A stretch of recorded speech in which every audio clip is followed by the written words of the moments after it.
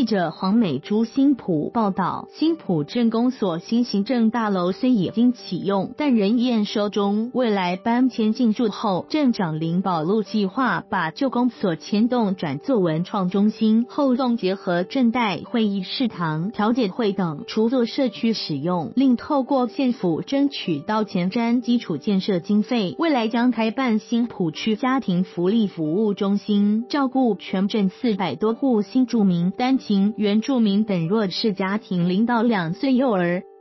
新浦镇长林宝路说，新行政大楼计划会在今年三月底以前完成验收，届时将花半个月时间办理搬迁。新的行政大楼一楼除了游客服务中心，另会安排民政、农业、观光以及社会三个跟乡亲接触比较密切的客室，便利乡亲洽公。二楼则规划作为行政、人事室以及建设课。另外，镇长室也在这个楼层。三楼除了档案室，另将规划有五百人的大会议室，提供全镇大型活动会议商讨使用。至于旧的行政大楼，林宝路说，前栋一楼将做 K 书中心，而为了这个 K 书中心，他计划号召镇上的青年军一起加入志工行列，除了客服，也提供青少年各方面的协助。前栋二楼则将做成展览室，里面将收集陈列新浦镇知名的青年各方面的得奖创作，作为常设的展览，提供来客认识新浦各界的青年才情。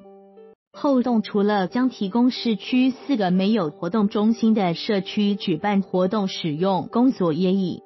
经透过县府社会处向卫福部争取到前瞻基础建设近五百万元，年底前要把代表会议室堂加上调解会的空间开办成新浦区家庭福利服务中心。